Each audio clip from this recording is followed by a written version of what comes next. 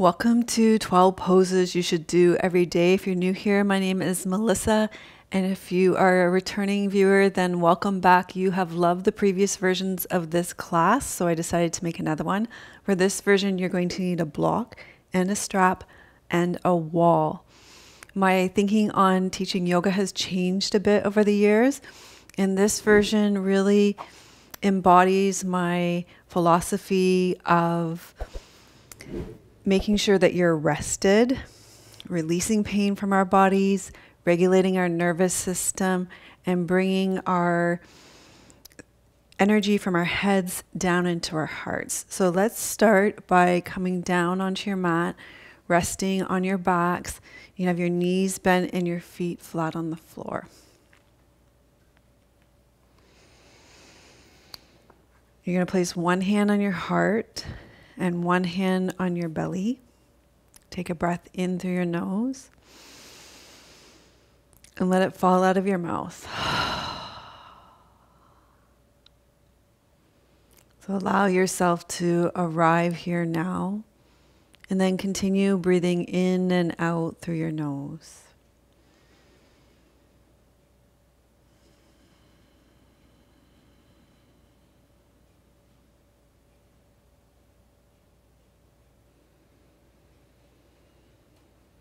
Feel the support of the earth underneath you. Allow yourself to sink down and into gravity.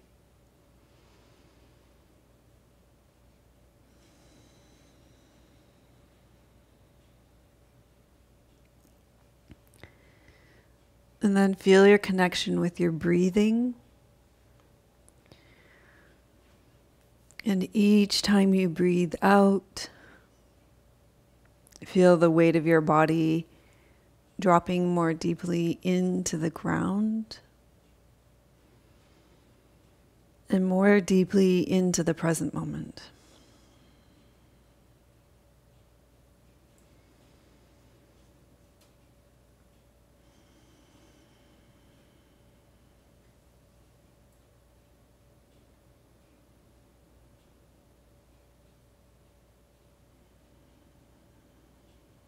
Now become aware of your mind.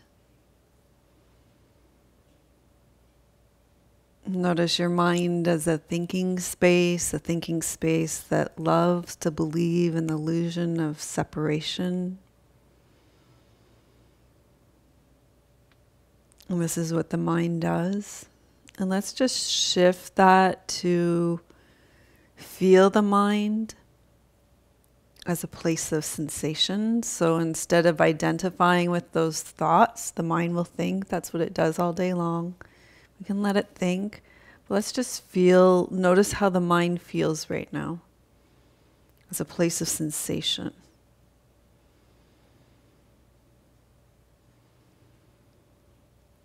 And take a moment to remember who you are. As an integral part of the vast and interconnected whole.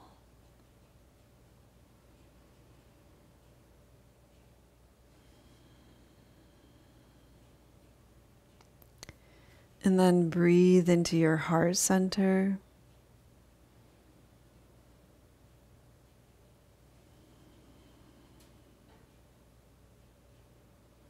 And united in our hearts, knowing we never practice alone in all directions of space and time. There's somebody else practicing with you. We are connected in practice. And we are united in the unconditional love and kindness and compassion that is the truth of who we are and that flows through all human beings.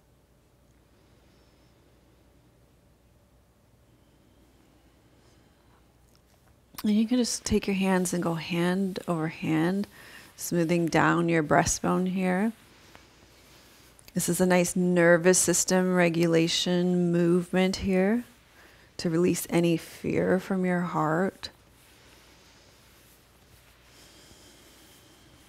And as you do this, just reflect on what it is that you want to receive from your practice today.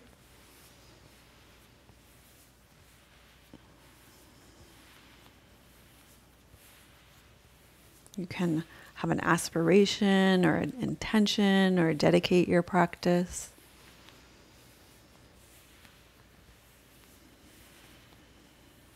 And dedicate my practice to all beings that they know the truth of who they are and their place in the interconnected whole.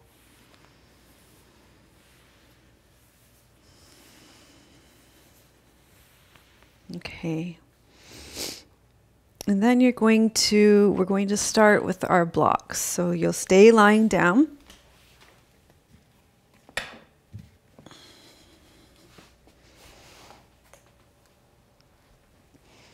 So take your block, you're going to hold it between your hands horizontally and take it overhead. So feel a nice lengthening through your spine. So I love this movement because it creates some articulation of your spine. It's going to strengthen your abdominals and it's going to strengthen your hip flexors, which are short and weak from sitting. So it's uh, an all around, it just gives so much bang for your buck. So you're going to inhale here. You're going to bring your block up and you're going to draw your rib cage down. You're going to curl all the way up and you're going to place your block down between your feet. Start it on a low setting. You can even start it on the lowest setting. And then you're going to lift your leg over the block and back, sitting up nice and tall. So we're in Dandasana. And then you're going to pick up your block again. You're going to inhale. You're going to exhale, roll down through your spine, and take your arms overhead again. So inhale here at the bottom. Exhale, you're going to roll up through your spine. And you can experiment with the height of your block. There's no right or wrong or better best. We're going to accept ourselves exactly where we are on any given day. We're not comparing, we're just loving ourselves as we are. Inhale. Exhale, roll down through our spines. Inhale. Exhale, roll up.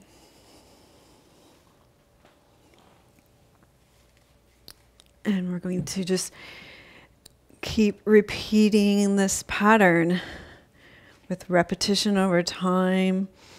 We're going to get stronger. Our spine is going to get juicier. Our abdominals are going to get stronger. We get to breathe while we do it.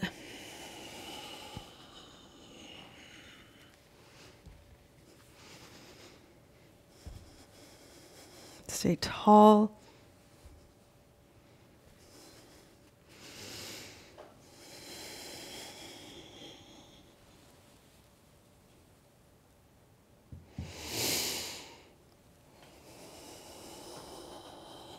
So, this is our number one for today.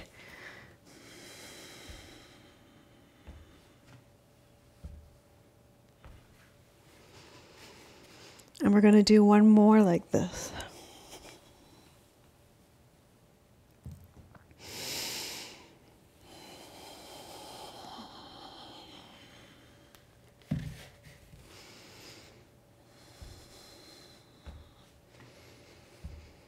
So I love that for us. So let's go to number two, which is going to be cat pose. You can put your block off to the side. So we're going to come onto all fours and we're going to exhale, round up through your back and inhale, arch through our backs. So I love cat pose. I still love cat pose. It's great for articulating your spine, your nervous system. It attends to your nervous system, your vagus nerve. So love it.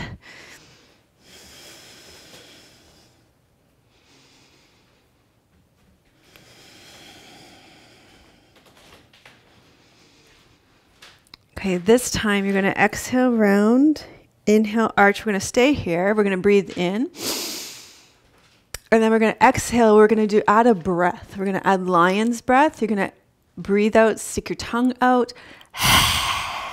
look up at your third eye. So you're getting some eye yoga, you're getting some breath practice. And when you breathe out, you're going to release anything that feels stuck, any fear. So inhale as you arch. Exhale, lion's breath. Inhale, arch.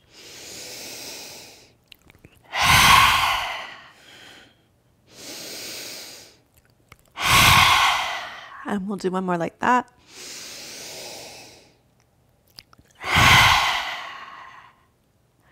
Okay, great. So now we're going to shift to some thoracic rotations. I love this for getting into our upper back.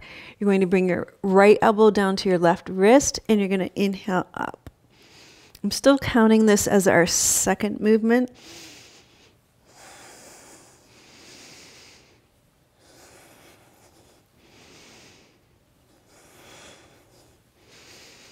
And we'll do this on the other side.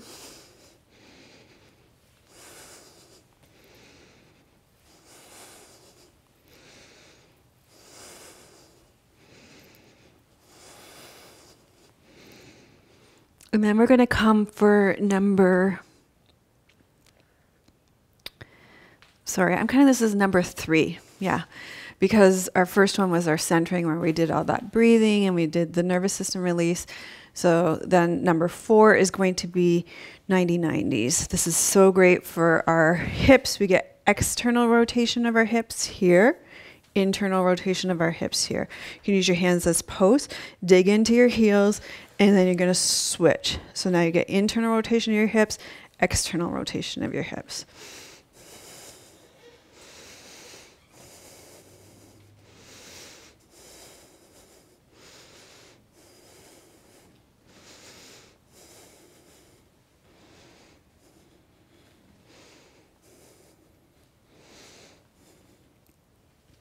Okay, and then we're going to land here, turn towards the short edge of your mat.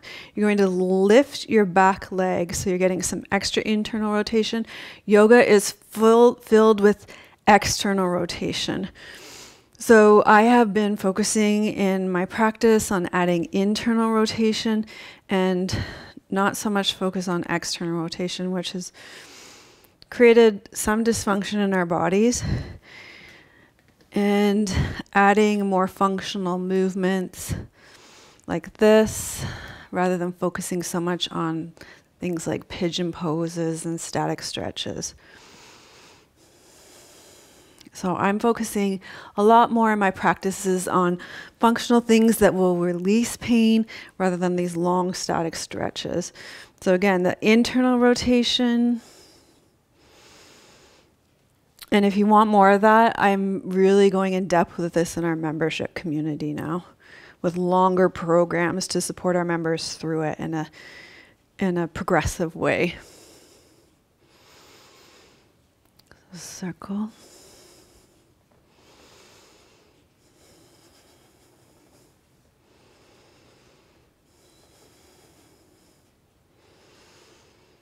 Okay.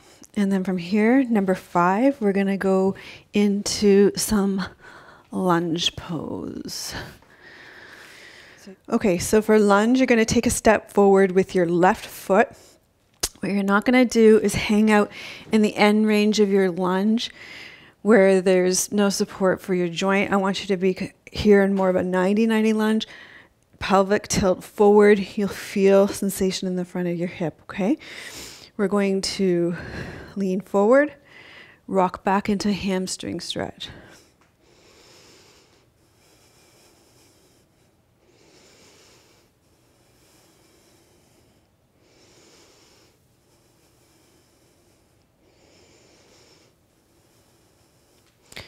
And then you're going to come forward, take your hands to the inside of your legs, take your inside hand, reach down and rotate up. So we're getting some nice rotation for our spine as well.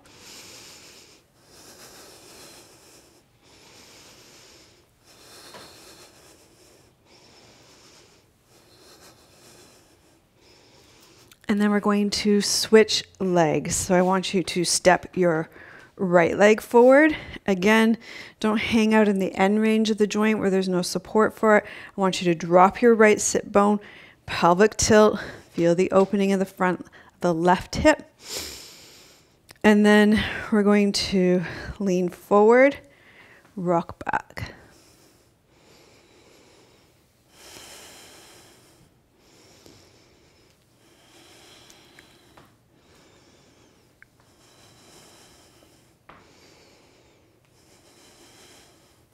Come forward, inside hand threads the needle and reaches up. So we're adding some rotation.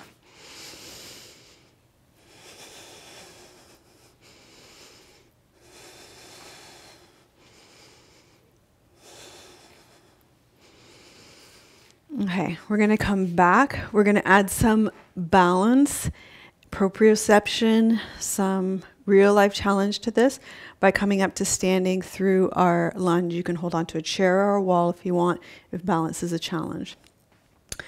So you're going to step your left leg through. You're in your lunge. Stand on your left foot. You're going to come up to standing. Bring your knee up and through. Extend your leg. Come back. Lower down. And then we'll come back up. Knee up extend, step back, lower down. Come up, knee up, extend, step back, lower down. Come up, knee up, extend, back, lower down. Keep breathing.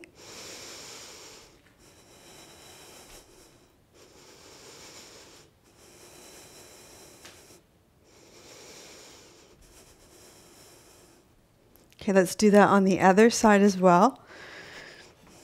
So we'll start with the right leg in front, tuck the left toes under, press into your right foot, come up, knee up, extend, Bring your knee in, step back, and down.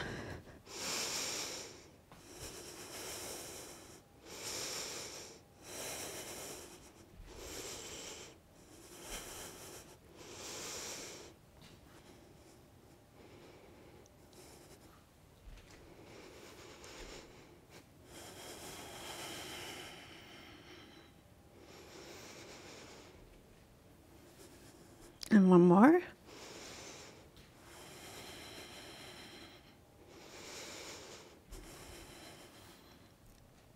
We'll come up.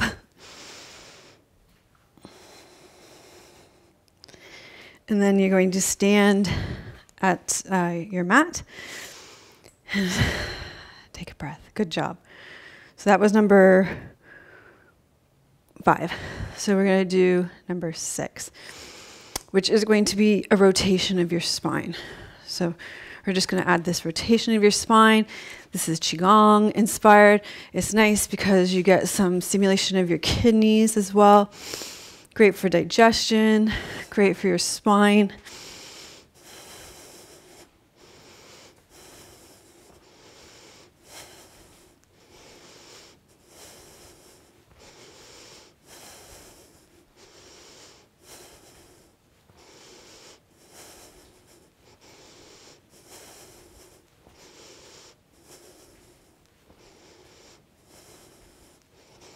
Great for all those internal organs.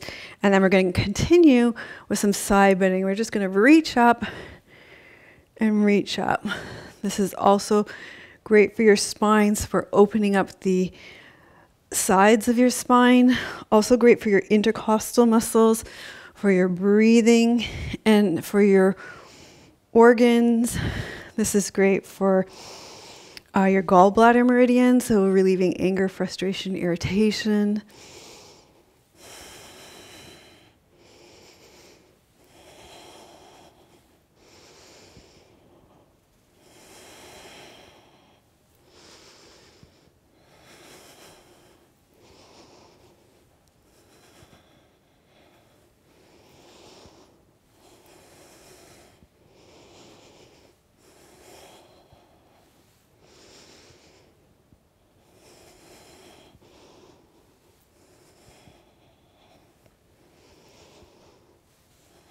So just pause and notice how you're feeling. Notice any release of pain. Notice how you're feeling mentally, emotionally, energetically. And then we're going to pick up your strap. So this is one, well, this is 12 poses you should do every day. So this is one I do every day.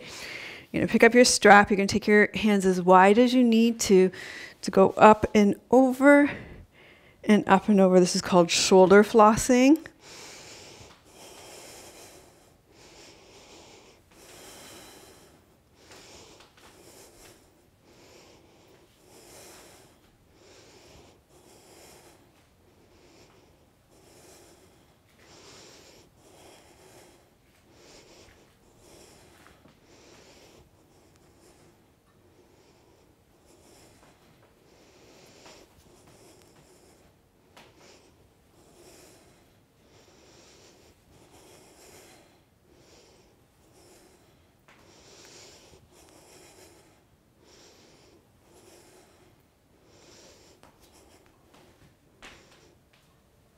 Okay.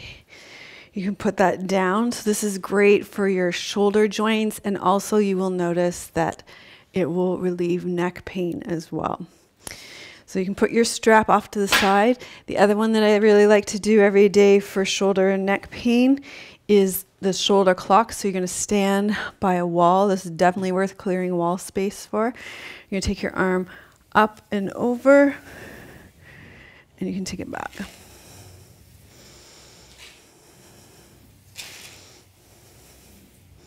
And you, if you can start uh, further away from the wall, this is something I do do every day. So it's something that, um, for me, has definitely improved over time. You want to be perpendicular to the wall.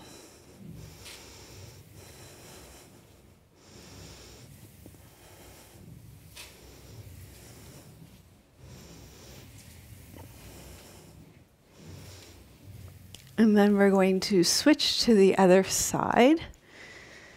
And it will be different from side to side. That's okay. Our bodies aren't symmetrical. And you want to, as much as possible, be perpendicular to the wall 90 degrees to the wall. Keep breathing.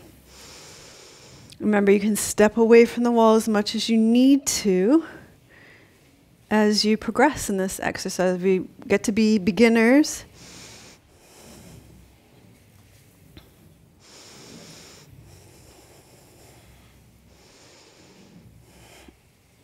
The other thing when I started this exercise too, when I got to a sticky spot, I would just slow down and work through the stick. So it, do, it does improve. So this is definitely one you should do every day, one that I do do every day. And it has paid off dividends. So way less shoulder pain and neck pain. It's definitely eliminated the neck and shoulder pain for me. Okay, we're going to come down and onto your bellies. We're going to do some cobra building. I love cobra building for low back pain. It's great to move your spine backwards. You'll notice there's really not any forward folding in this. We do we spend so much time sitting and rounded. I've really kind of dropped it from my teaching. It's not that I never do it. You will see it in my teaching. I do love it for um, the bladder meridian, which runs along the whole back of your body, which really helps to get into the nervous system. But generally, um, it's just not that functional to do more of it when we're already doing so much of it. So, hands under your shoulders, roll your shoulders back and up. You're going to reach your sit bones down towards your heels, tuck your toes under, reach back through your heels, and then you're going to lift up and lower down. That spine should be nice and juicy by now. But just come up as far as is comfortable for you. This is so great for any kind of back pain that you might be having.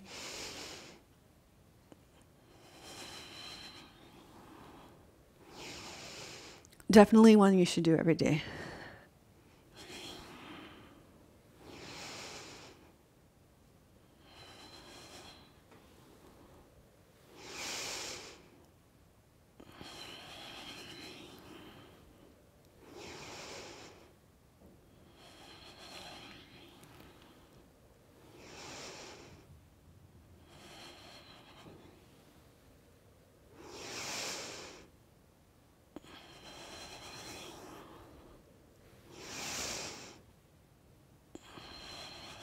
Then we're going to come into Malasana, which is a squat pose. I like to use the block for this. You can even, well, actually, I don't want to do it against the wall for this one because uh, we're going to add some thoracic rotations to it, which is a nice variation that I really like. So you're going to sit on your block, which helps to eliminate any knee pain in this. That's why I do it on the block. If you can do it without the block, you can do it without the block, but that's why I use the block. It takes the pressure off the knees. And this is so great for digestion, particularly elimination, because you can see it puts you in the position that before toilets that we would have used for elimination, which makes it easier to eliminate. So supports the natural elimination process. And we're going to add, take your hand to the inside of your knee, and you're going to add those thoracic rotations, which are challenging this position, so we're happy with whatever movement we get here.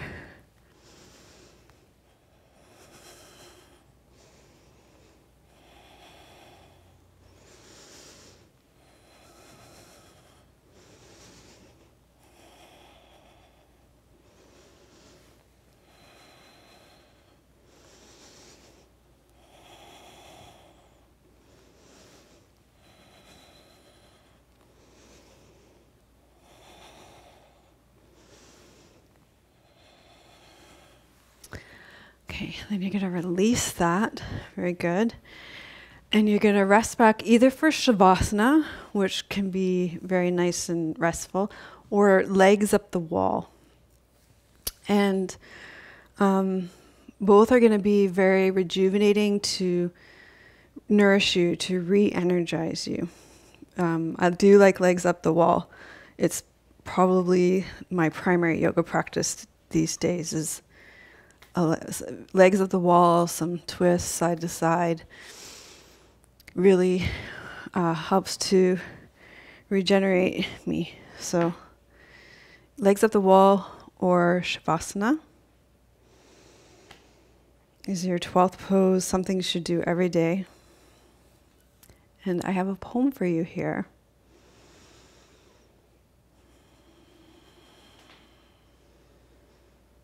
Okay, so let yourself settle into your Shavasana or your legs up the wall.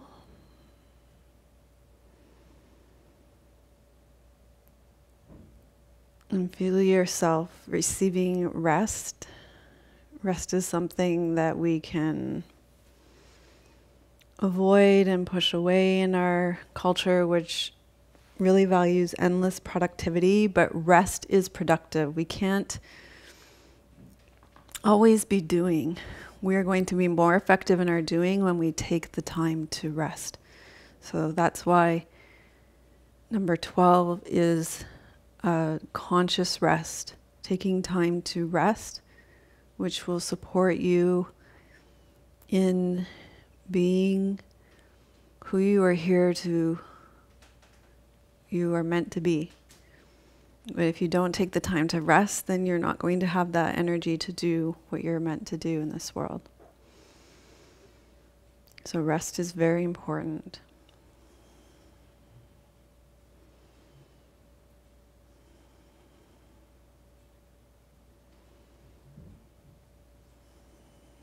So, I have a poem for you here. It's called One Big Perspective by Rosemary Wahtola Trommer. A day so blue, even my greatest fears are dissolved into sky. A day so blue, even my greatest fears are dissolved into sky.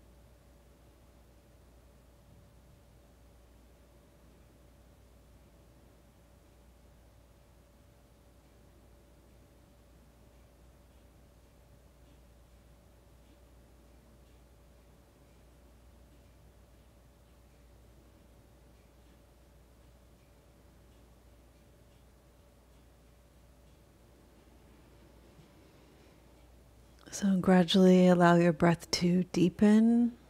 You can start to wiggle and stretch out. Just take a moment here to reflect back on your experience of the class as you're starting to come back from the stillness and the silence. And ask yourself what's one small thing that you're going to take with you off your mat and into your life. As you start to bend your knees and roll to your side, make your way up to seated.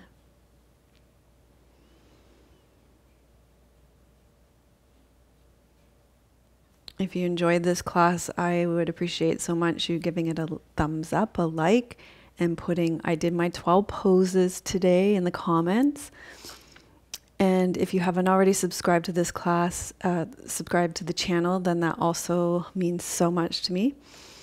And I'm sending you much love from beautiful British Columbia. May your joy be as deep as the Pacific Ocean. May you be as rooted as the old trees in our forest and may you be as strong as our mountains. May all beings everywhere be happy and free, and may the thoughts, words, and actions of my own life contribute in some way to the happiness and freedom for all.